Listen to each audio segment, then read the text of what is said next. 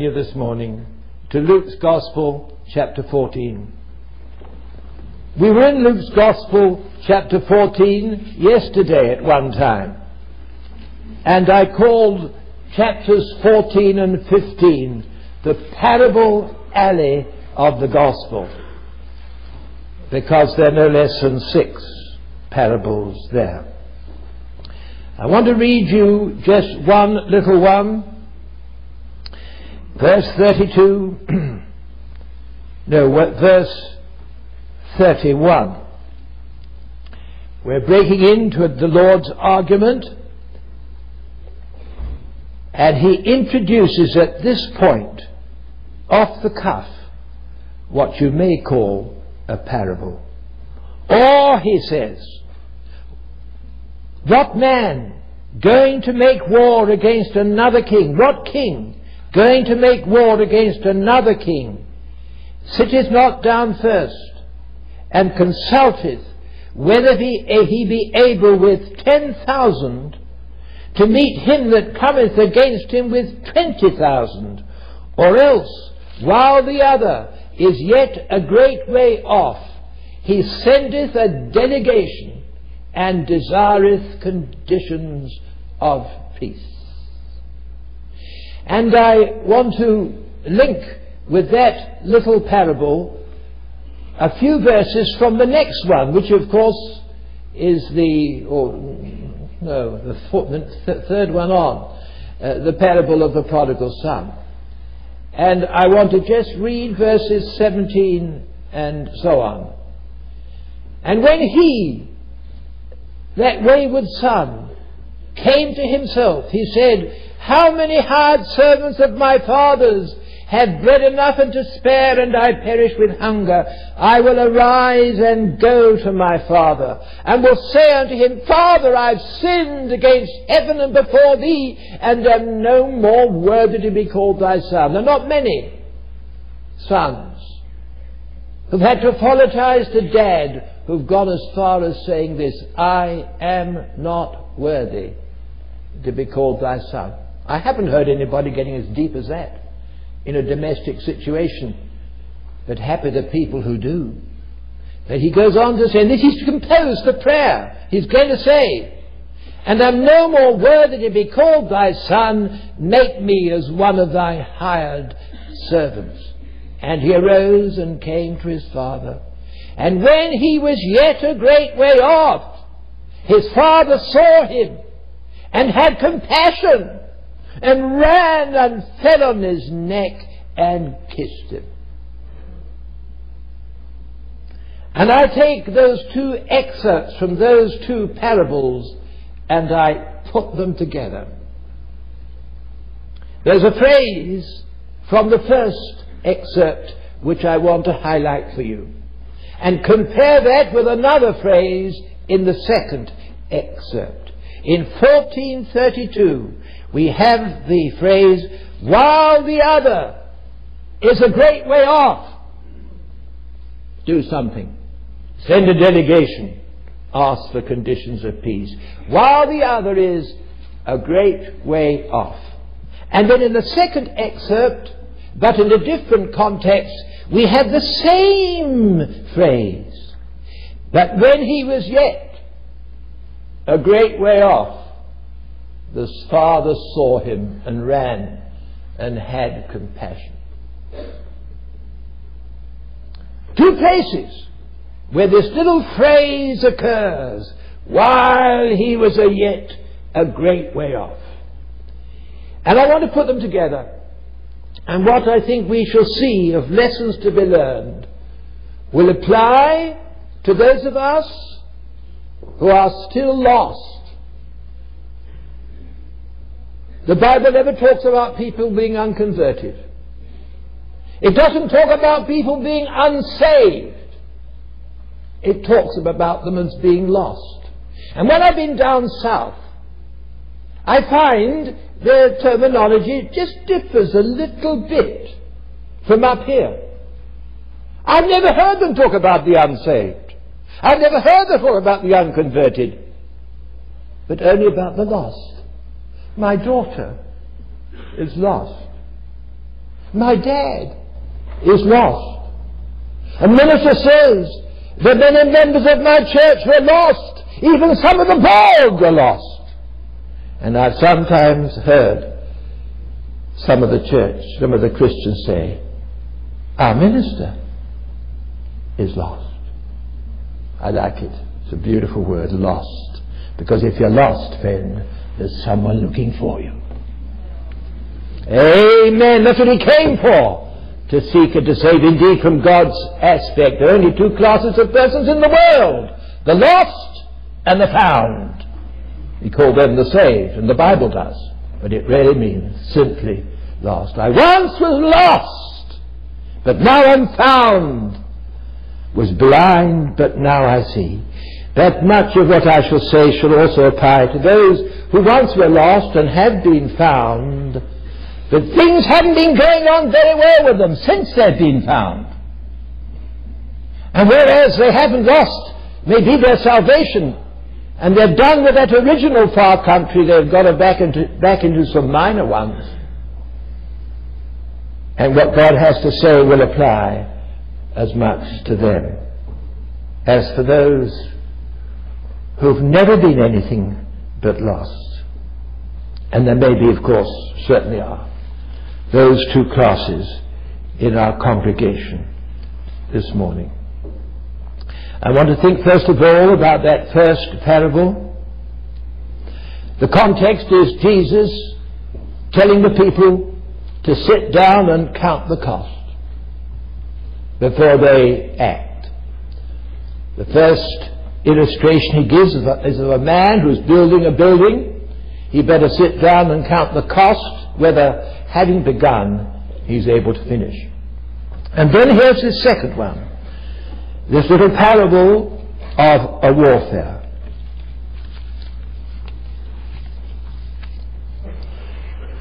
Of one king against another king. And there's likely to be a great confrontation. This king is going to take action against this other king. Or the other king is going to take action against him and he's going to resist. And before they have any such confrontation, the king we're thinking of sits down and he counts the cost. Whether with 10,000 he's able to go against him that comes against him with 20,000. The argument is that he wouldn't surely start operations without sitting down and making that complication, that, that calculation. And having done so, and having realized he's hopelessly outnumbered, quite obviously he would do something about it. He would send a delegation calling off the conflict and asking for conditions of peace. And he would do that while the other is still a great way off. The fact that the, the opposing army and the opposing king is still a great way off would not be taken as an excuse for doing nothing or proceeding with his plans. He would rather see it as an opportunity to send that delegation and humbly ask for conditions of peace. The man has chosen to live his life independent of God. And his whole social life is built upon the assumption that God must be out. He must run his own life and go his own way. It is really, the basic sin of man is really the sin of rebellion against the authority of God. I want to go my own way. I want to run my own life. And that still may be the basic attitude of some of us here this morning. Now, although God is merciful and gracious and long suffering with men, He must out of ultimately take action against those in rebellion against Himself. He cannot allow that man to go on and on with the laugh on his side. And so this mighty king begins to take action against some of his rebellious subjects. And he takes that action very often in this life. He has to chasten that man. Things perhaps go wrong. We say, isn't it strange how the wicked seem to prosper, do they? They have their fair share of problems. Indeed, they have a whole range of problems that only come to them because their behavior has caused it. And God doesn't interfere with that process. He lets it go on. He's got to take action against such. Many are the sorrows of the wicked. And even if it doesn't seem to work out like that, it's going to work out in death.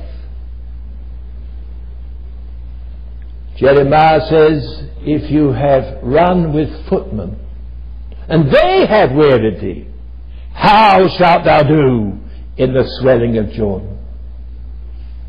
And there's going to be that confrontation when your last moment's coming, when you gasp for breath, when you know you're passing from time into eternity. And how wilt thou do when after death as the scriptures say, there's the judgment seat. When the small and great are going to stand before God. When the books are going to be opened. And when every man's going to be judged according to those things written in the book. Unless, of course, a man's name is written in that other book. The Lamb's Book of Life. Man, how's it going to do? How's it going to be with you? Don't you think you ought to sit down, friend, and count the cost of continuing to go on lost? There are people here this morning, you've come with your wife, she's a lovely Christian, you are on the edge.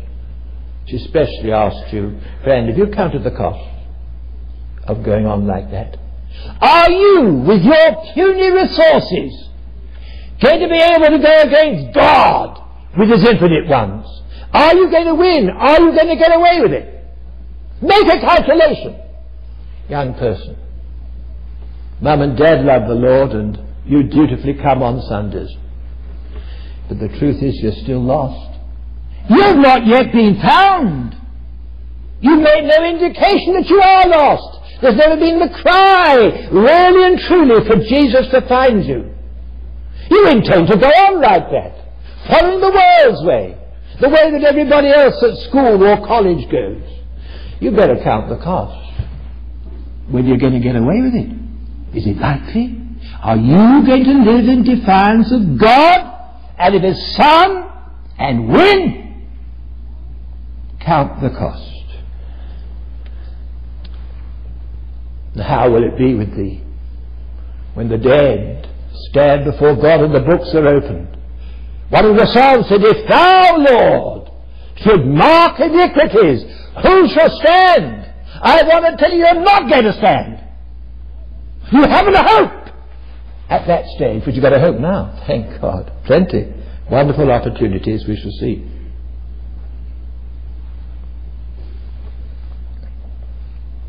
Now, in view of the fact that you're not going to get away with it, that you with your resources cannot gain to go against God with his infinite power. Ought you not now to do something about it? Ought you not now, so to speak, to send a delegation to that mighty one and ask him for conditions of peace? Ought you not now to get right with God?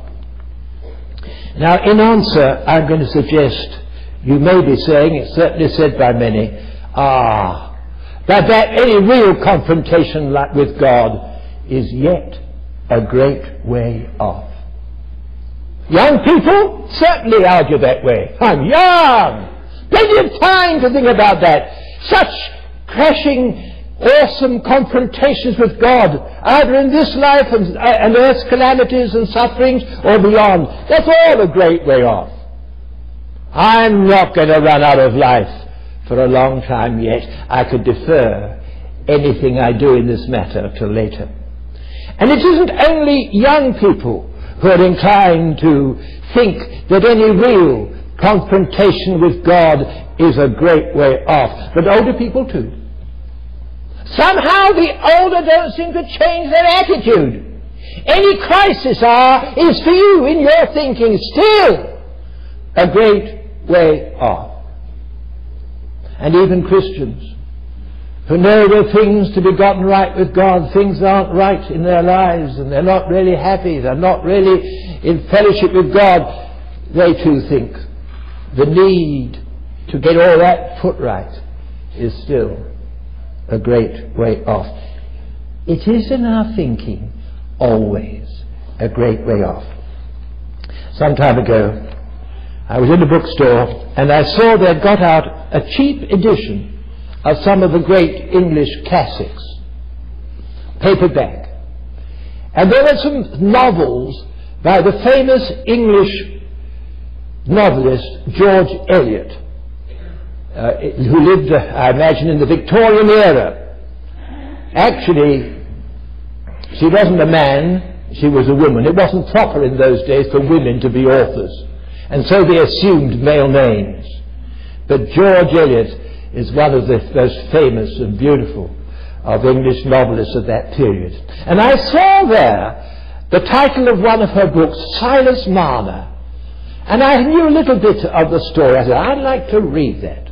I like something a bit light when I'm just tired at the end of the day and I want to be rocked off to sleep. And I thought that Silas Marner by George Eliot would be helpful to that end.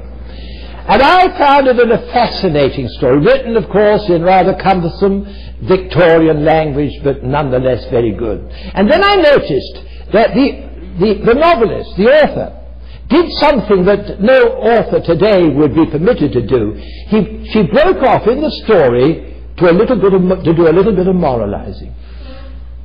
And what she said was most illuminating. I didn't tell you the story except to say Silas Marner was a miser. And he lived alone in the country. And he had gold. And he had it hidden away in a hole somewhere in his cottage, carefully covered over. And every day he'd count his money and put it securely away. On one occasion there was some special thing, and he had to leave his house to go and do something. It was night time. And he left. And he didn't lock his house. He'd never really locked his house before. He wasn't often away. And he didn't on this occasion. And then another character in the story was passing just at that moment, went in, found the, treasure spot, and stole the gold. And when Silas Marner came back to discover his precious gold was gone, he was heartbroken, shattered. And then there came this little bit of moralizing by George Eliot. You see, he never expected it, it, it to happen. He'd often left it there, and he'd even left the house unattended. It had never happened before, and so he thought it never would happen again, ever, to him. And now it has. And she says the sense of security that we have more frequently springs from habit than from conviction. The lapse of time during which a given event has not happened is, according to this logic of, of habit, constantly alleged as a reason why the event should never happen. Never happened before, and you see, you see it never will happen in the future. Even when the lapse of time is precisely the added condition which makes the event imminent.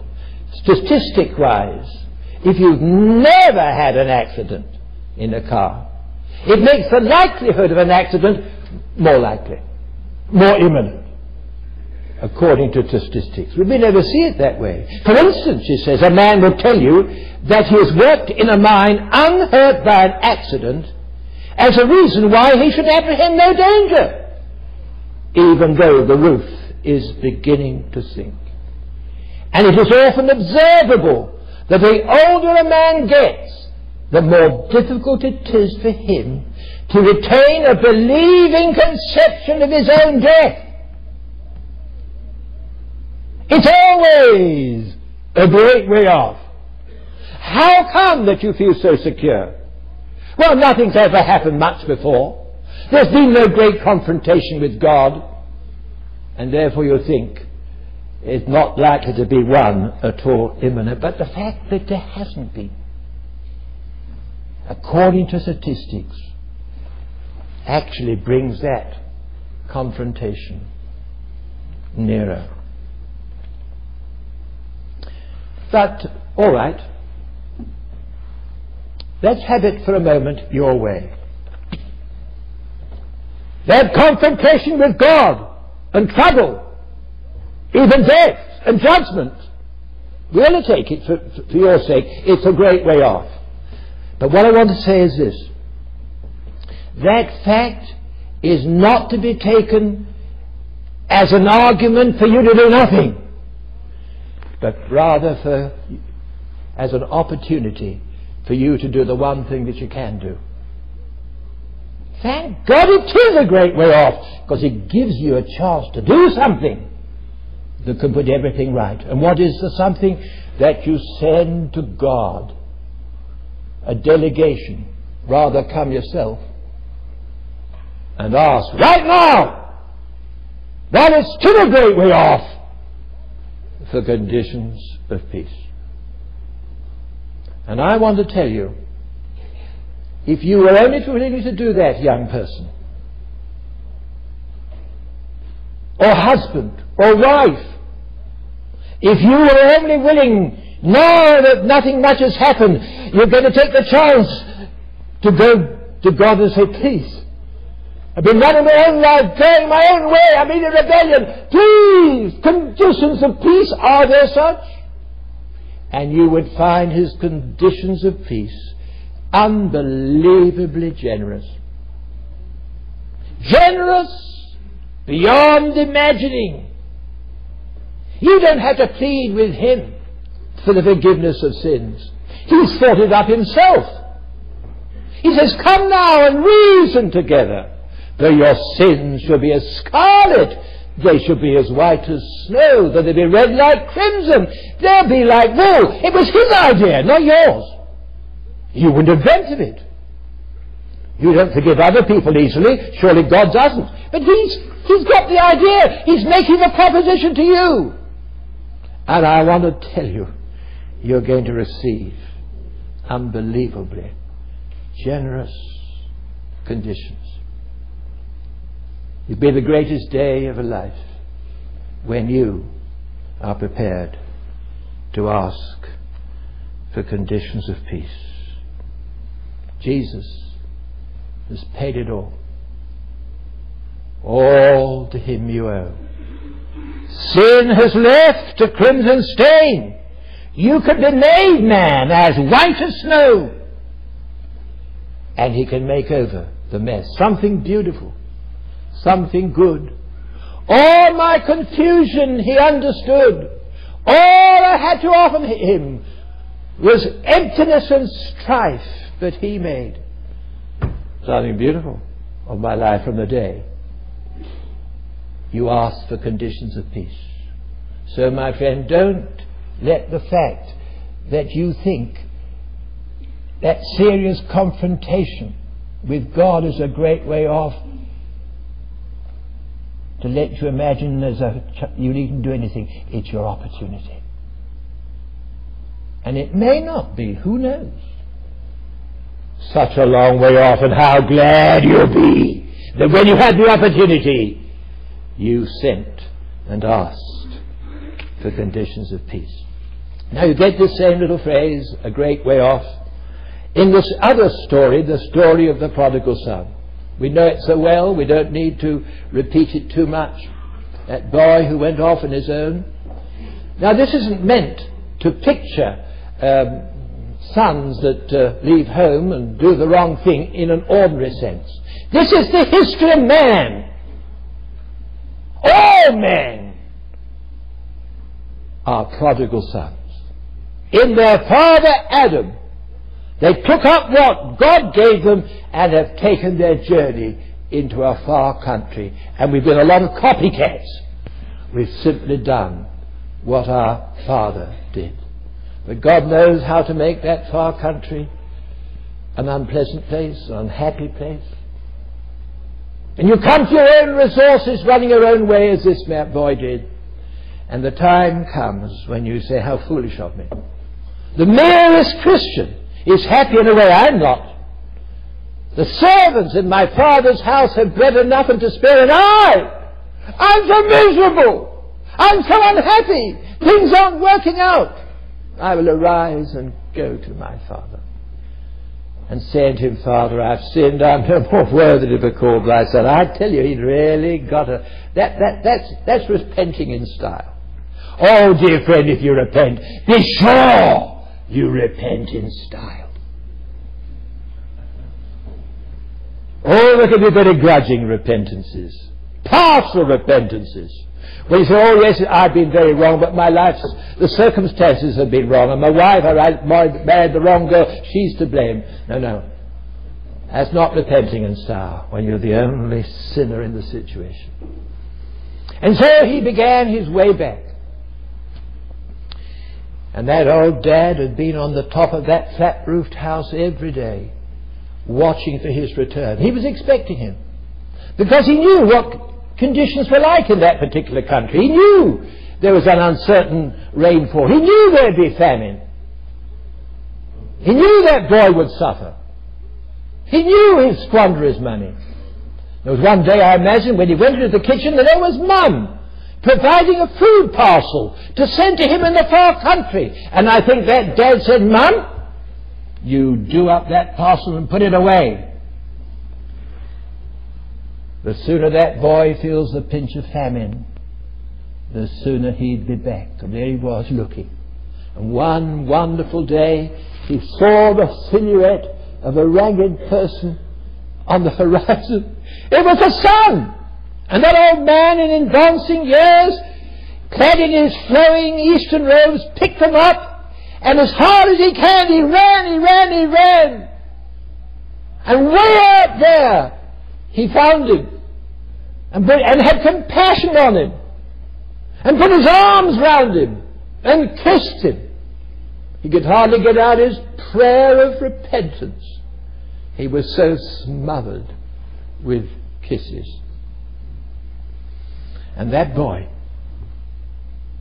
was utterly reconciled and restored to his father even while he was a great way off.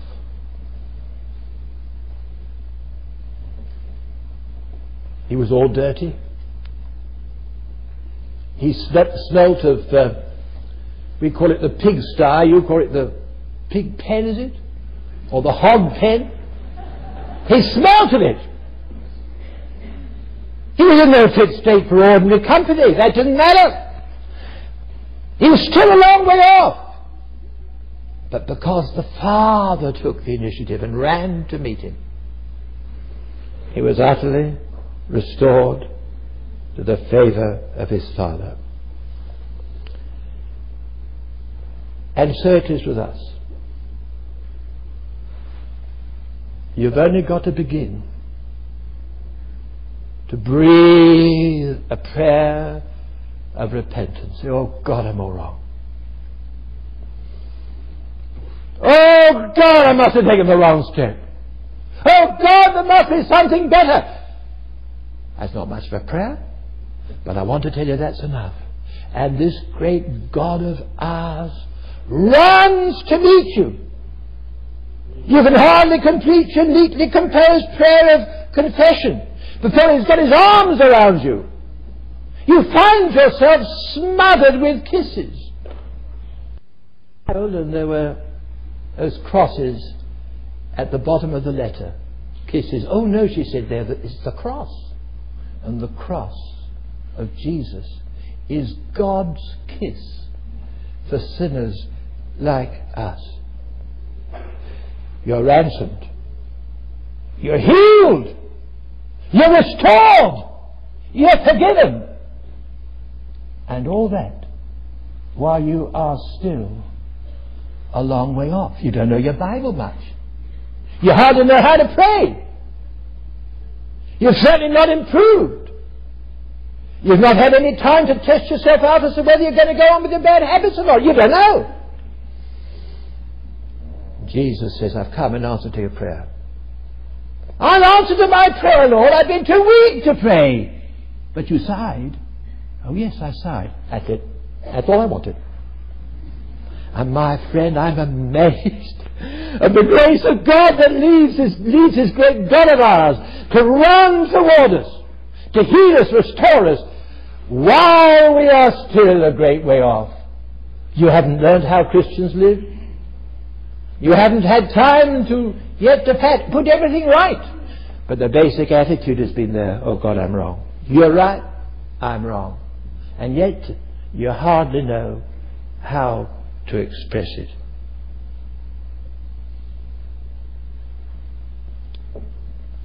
While you're a great way off. Still all mixed up. You don't know the doctrines. And it's the same with the believer who's gotten away. He's gotten away from God because he's got wrong perhaps in his relationship with other people. And you can't be, imagine you're right with God when you're resentful of another person. You've gotten away. How in the world do I get back? I've done so many wrong things. I've made so many wrong enemies. Enemies. But my dear friend, did I hear a sigh? Says God, is there someone beginning to feel, oh, it's me, Lord? I tell you, He doesn't wait till you've got everything, all your doctrine straight and your prayer neat and tidy. Why, you are a great way off. He runs to meet you. And you finish your prayer in His arms. This is grace. Of course, there was some distance to travel back to the banqueting house, but he traveled that distance with his father, with his father's arm around him, helping him over. And maybe, and while you're still a great way off, you can be assured you've been received and forgiven. Or maybe there are some things, some distance to carry, but you're going to do those things as one who's already been forgiven and restored. And if there are apologies to make, it'll be almost more of a testimony of what grace has done than a mere n- naked apology. Oh, the apology is there, but it's suffused by the joy that while you were great way off, I cannot tell you of the mighty power of the blood of Jesus. It's by that power you're restored to God. That blood that is shed at Calvary was enough for God. It was enough for all the sins that Jesus took responsibility. God the just is satisfied to look on him and pardon me.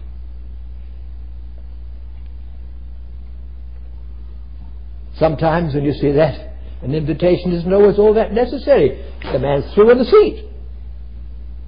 In the old time days of Whitefield and Wesley, they preached until they knew the people were greatly affected. Some were weeping in their seats. Some were rejoicing.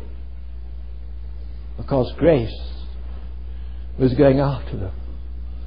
While they were yet a great way off. Oh, there was that response, but it was pretty poor. I was talking to a girl who was a, who was a real neurotic of the most hopeless sort, it seemed. She'd been from counsellor to counsellor, even professional counsellors, and she was real confused, and she thought in coming to our conference, she was a bit scared I'd have to do a terrific repent. One counsellor had already told her to make a list of her sheet, uh, uh, of her sins on sheets of paper. But that seemed to do it. Well, that's going to be some terrific thing. And I told her about this grace of God, this blood of Jesus. And though she was still in a mess and a muddle, she came and she prayed. She said, you know, afterwards, she said, it wasn't a very good prayer of mine, was it? I'm not quite sure whether it was real.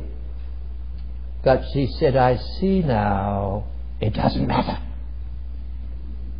If the blood of Christ is sufficient for God, it's sufficient for me. I said, Sister, you've got it. And she had. Oh, that's a beautiful letter from that girl. an intransient case of, of a neurosis. If I'd listened to people's report on her, I, wouldn't have, I would have given up hope. But you know, all that needed, she needed was that grand old gospel which saint and sinner still need. And so we see these two parables. The first would tell us, prepare to meet thy God. The second would tell us, God is prepared to meet thee. Amen. He's prepared to meet thee. And he's running to meet you. Someone has said, that picture of that man running is a picture of God in a hurry. The God who's got all eternity into, in which to work out his purposes is seen to be in a hurry when a man begins to take the penitent pledge. I've got not got quite finished, and these last words I think are quite the most important thing I want to say. First, I want to answer a question that you may have in your mind. Perhaps you've often had it when you've heard about this age-old, lovely parable of God receiving, of the Father receiving that Son. You say, in that parable, where is Jesus? Where is Jesus in that parable? It's the Father and the Son. Shall I tell you where Jesus is in that parable? He's in that Father, picking up his robes and running, running, running to meet that Son. That is Jesus. Here's a definition. Who is Jesus? I'll tell you who he is. He is God run to meet us. In Him, God's already run. The distance has already been breached. The work's already been finished. That's the name they gave Him. And the first Christmas, His name shall be called Emmanuel, which is God with us. Which is God run to meet us. Which is God available to you. In Jesus, you have God available to you on street level. Already!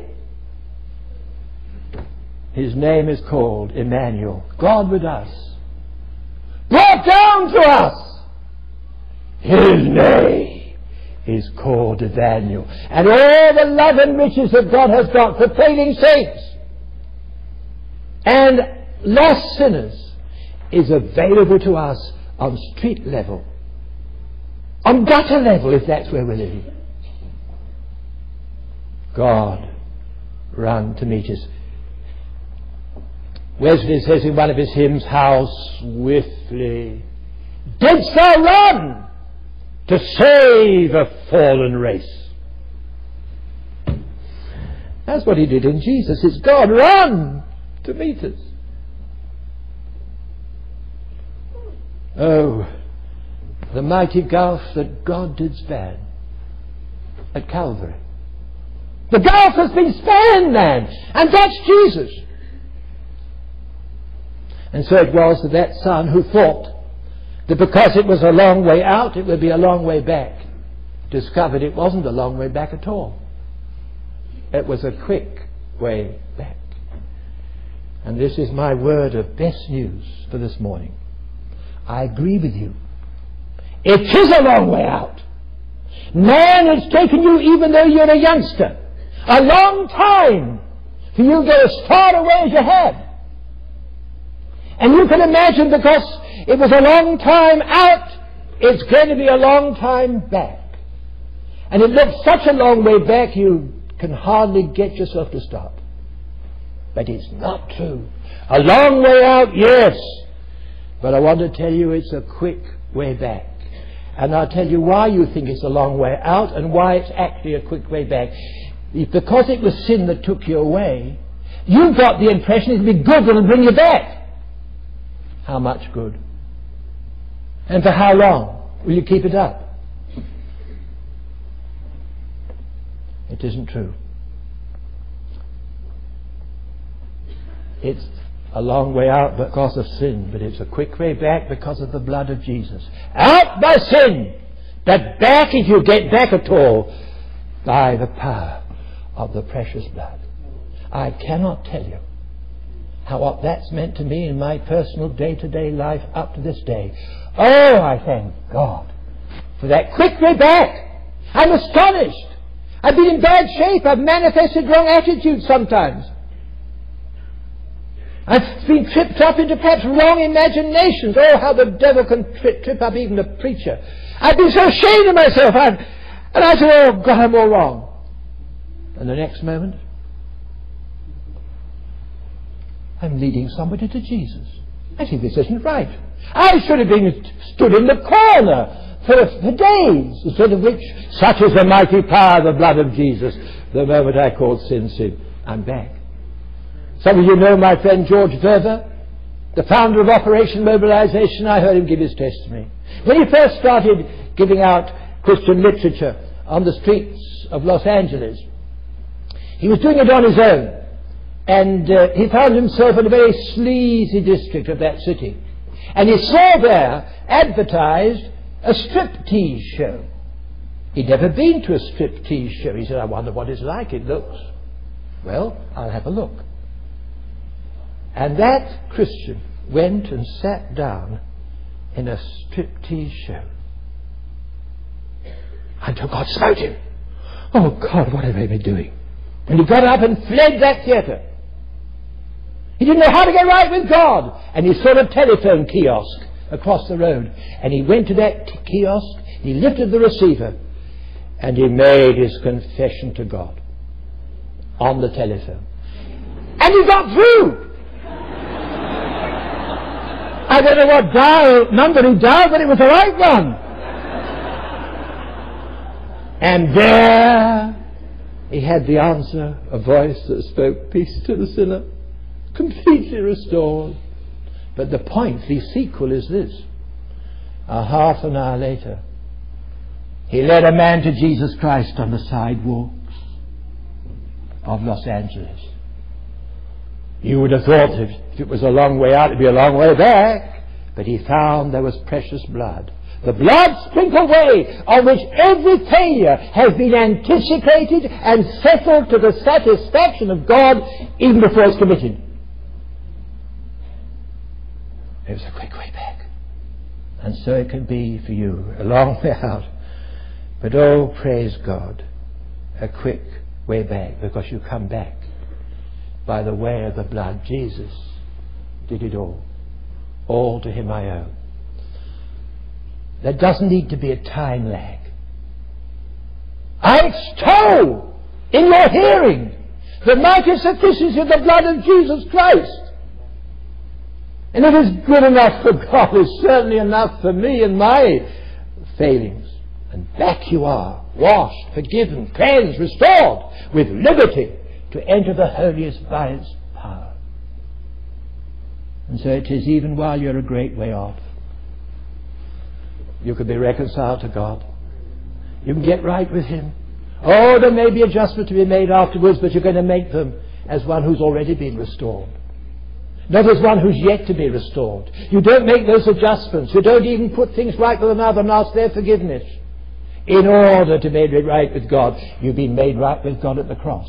And as a result, you want things right and sweet between you and others.